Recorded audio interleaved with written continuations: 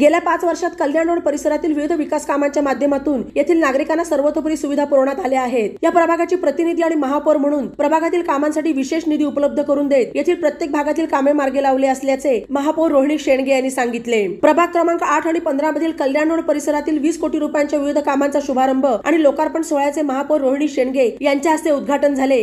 त्यावेळी त्या बोलत होत्या. वीस कोटी रुपयांचा विकास निधी उपलब्ध करून दिल्याने विकास कामे मार्गी लागली. सहकारी नगरसेवकांच्या पाठपुराव्यामुळे विकास कामांना चालना मिळाली असल्याचेही त्यांनी यावेळी नमूद केले. त्याचप्रमाणे आज शुभारंभ होत असलेल्या विविध कामांच्या माध्यमातून हा भाग आदर्श कसा होईल यासाठी प्रयत्न केले जातील असंही त्यांनी स्पष्ट केले. या प्रसंगी महिला बालकल्याणच्या सभापती पुष्पा बोरुडे नगरसेवक सचिन शिंदे श्याम नळकांडे सुवर्णा जाधव विद्या खैरे प्रशांत गायकवाड शिवसेना जिल्हा प्रमुख प्राध्यक्ष शशिकांत गाडे पोलीस उपअधीक्षक हरीश खेडकर शहर प्रमुख संभाजी कदम युवा सेना सहसचिव विक्रम राठोड माजी महापौर भगवान फुलसुंदर नगरसेविका सुरेखा कदम दत्ता कावरे अनिल बोरुडे माजी विरोधी पक्षनेते संजय शेणगे प्राध्यापक खासेराव शितोळे भगवान गाडे दत्ता जाधव आदींसह कल्याण रोड परिसरातील नागरिक उपस्थित होते. या प्रसंगी गणेश कवडे भगवान फुलसुंदर आदींनी मनोगत व्यक्त केले. बातम्यांसाठी ई नवा मराठा यूट्यूब चॅनलला सबस्क्राईब करा आणि बेल आयकॉनवर प्रेस करा.